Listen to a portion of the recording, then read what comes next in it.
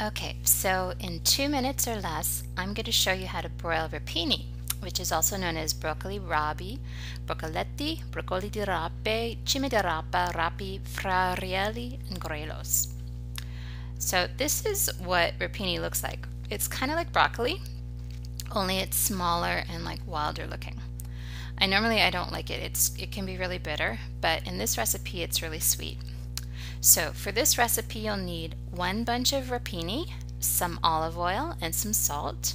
And you'll also need a baking sheet, a bowl to toss the rapini in, an oven, and uh, some kind of timing device if you don't want to have to keep checking the rapini every couple of seconds or so.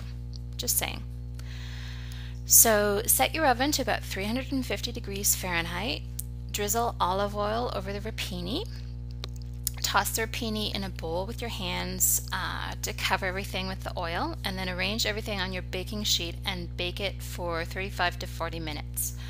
When it's done, the leaf should be like all thin and crispy and um, starting to brown, and the stalk should be tender-ish. Um, some of the benefits of this recipe are um, eating greens, uh, also not a lot of dishes to clean up afterwards, but some possible ways this recipe could fail. Um, apparently cats love rapini. So uh, if you leave it unattended, uh, they might eat it all before you cook it. Just saying. Also, um, I spilled salt all over the floor when I was photographing the salt and um, put my BlackBerry down on the counter and accidentally got olive oil on it. The end.